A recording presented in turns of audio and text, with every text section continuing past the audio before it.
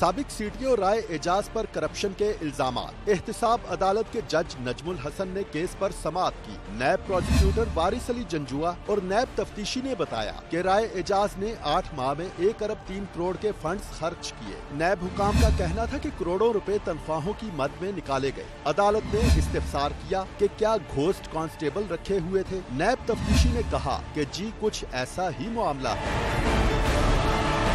नैब हुकाम का कहना था कि जाली दस्तखत करके भी बिल बनवाए गए, जिस पर तहकीक जारी है। राय एजाज के दौर के बिजली के बिलों के पैसे तो निकलवाए गए, लेकिन सरकारी खजाने में बिल जमा नहीं हुए। राय एजाज के वकला ने कहा कि हमारे खिलाफ तमाम इल्ज़ाम गलत और बेबुनियाद हैं। राय एजाज के दौरे तैनाती में एक पैसे की भी खुर्द बुर्द साबित नहीं हुई। लिहाजा जिसमानी रिमांड की बजाय जुडिशल रिमांड आरोप जेल भिजवाया जाए। एहतसाब अदालत ने फरीकैन वकला के दलाइल सुनने के बाद राय एजाज को एक रोजा जिस्मानी रिमांड पर नैब के हवाले करते हुए समात 15 दिसंबर तक मुलतवी कर दी। कैमरामैन अजहर बशीर के साथ मोहम्मद सकलैन जावेद, लाहौर न्यूज़।